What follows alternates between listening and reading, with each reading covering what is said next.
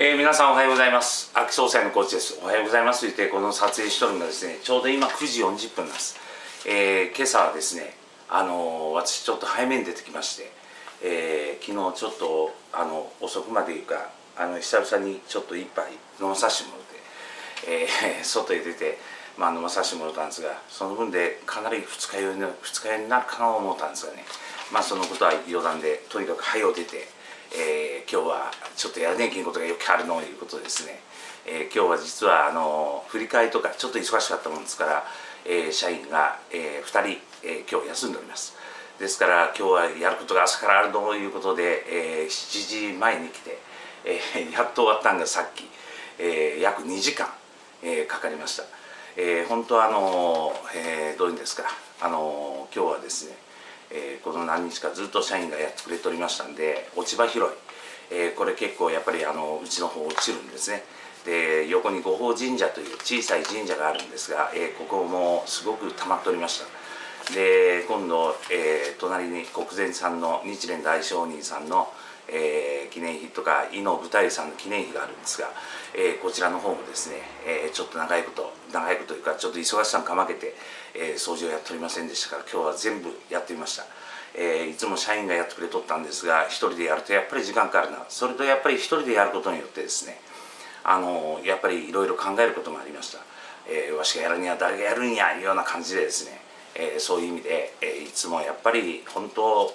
見えない力に守っていただいておるということにやっぱり感謝の気持ちを込めて、えー、この掃除をするように、えー、会社でも話しておりますしえー、とにかく今日は文句を文句を言わずに言っちゃおかしいですがとにかく虫になってやりました、えー、シャツも3枚着替えましたが、えー、本当いい汗をかかしてもらいました、えー、実はですねちょっと前前段が長くなりましたが、えー、コメントで質問いただいておりました、えー、お盆のお墓参り猛暑が予想されます。事前墓掃除で亡くなる人も毎年おられます。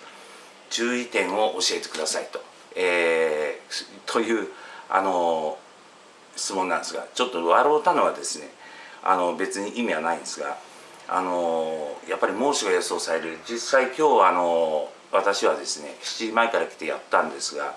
えー、まだ墓参りに来られる方は少なかったないうかほとんど、えー、見ることありませんでした。横墓地なんですけど、えー、やっぱりあの注意しとかにいけんのはあのもう朝から暑いですけど、え、やっぱり今日のような曇っとる時のはですね湿度が高いんですけども、え、まだあのそこまでですね日差しが強いことはないんで、え、今日は良かったなと。やっぱり天気予報なんかもよく見られて、えー、行かれた方がいいんじゃないかと、えー、明日の予報は晴れで、えー、もうとにかく猛暑が予想されます言われたらですねやっぱりえー、日がもう7時ぐらいからもうどういうんですか太陽の日差しが眩しい時ありますが極力そういう時間帯自分の墓地の環境いうのもあるでしょうが、えー、そういうのは避けていただいてで行かれた方がいいんじゃないかなと特に早朝とか今夕方も暑いですからねやっぱり早朝が一番いいんじゃないかと思います。えー、それとやっぱりですね先だって納骨堂にお参りに来られてる方見られたらやっぱり納骨堂というのはですねエアコンが完備してありますから、えー、墓、まあ、参るのは時間を問わずに。ただ納骨堂でちょっと気になったのはやっぱりあの皆さんが来られる時間帯が一斉に重なってくると墓参りで行列というか順番ができるんかの思うてみたりやっぱりしました。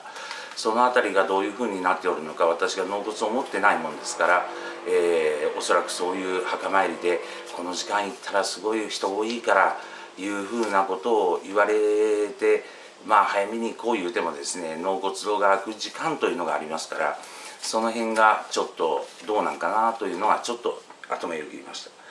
でやっぱり水分補給というのは非常に大切じゃというのは今日私やっぱりやるってですね汗をかいてから水分を取るんでなくて汗をかく前にしっかりと水分を取っとっていただきたいなと。で特にこの猛暑というのはえー、年齢によってやっぱり感じる温度の違う思うんですね。あの年齢が多くなっていくほど汗をかきにくい体質になるとかやっぱりそういう時人間いうのはつい汗をかいとるからやっぱり水分取らなきゃいけんのって思うかも分かりませんが、えー、実は汗をかいとらんようでも意外と寝ておる時がそうですが汗をかくんでやっぱり水分補給のはですね墓なんか行かれる前の時にしっかり取られとった方がいいんじゃないしっかり床ですね水分補給されとった方がいいんじゃないかなと思いました。であとはですねやっぱりあの一気にお盆の時に集中して墓に行くんでなくてやっぱり時間があればこまめに行けば草取りなんかでも楽でしょうし墓参りの時間墓掃除の時間いうのは短くこうできるんじゃないかなと、えー、やっぱり思いますね。ですからこの夏の猛暑の時の墓参り、えー、これ行かれる時やっぱりあのこう亡くなる方が毎年おられます実際そうかもわからんです。おられると私はまだあの墓参りで亡くなったいうのは聞いたことはないんですがでもやっぱり墓参りで具合が悪くなって倒れられて病院行って熱中症でやっぱり、ね、数日後に亡くなったということはあるでしょう。ですからあのさっき言いましたようになるべくなら朝早く行く。そしてもう墓がもうやれんな思われたら納骨堂に移るというのも一つは手かも分かりませんがこれはちょっと置きましょうでやっぱり水分補給とやっぱり最後に言いましたえー、こまめに墓に行かれてちょっとでもお盆の時に長時間墓掃除をするんじゃなくてやっぱりパッと行かれた時にあのろうそくと線香だけで済むような感じというのはやっぱり墓参り、えー、こまめに行かれるのが一番いいんじゃないかなと思いました。えー、あともう1点ですね、えー、質問来ておりましたが、えー、これはまた次回の、えー、お話にさせていただこうと思います。えー、以上でございます。